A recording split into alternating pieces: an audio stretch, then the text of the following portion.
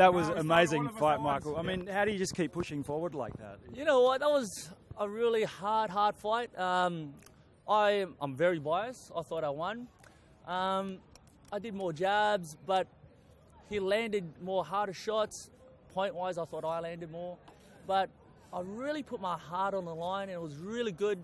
And I've made history, and it was good to know that um, I was the first Aussie to really fight for the title. And my dream's not gone. I'm still going to be going and pursuing my dream and representing Australia for it. Um, hard fight, and if I can do that for my first fight, imagine what I can do for my second. So, just talk us through that second round. You absolutely opened up and just Yeah. went for it. You know what? It was like people say uh, do or die. Man, I was living. Uh, I wanted to feel it. I wanted to feel tired. I wanted to feel the pressure, and we both did.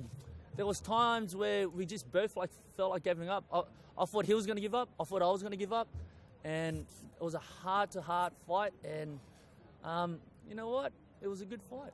It was an amazing fight. You should be very proud. So, where do you go from here? I mean, You know- is Lethwei Yes, I, I've had a taste of it. I had a taste of blood, and um, I want more. And like I said, if if I had a rest, I've stopped um, my kickboxing, I've stopped my Thai, so I'm only doing Lethwei. And if I can do that for my first uh, fight, I want to be here for a resident fighter. I'm here fighting all the time for WLC, for the number one um, promotion of bare knuckle, and I'm here for the long run. So, guys, thanks for the support, for everyone there who gives me a thumbs up, for everyone watching Lethwei, for advance, I thank you.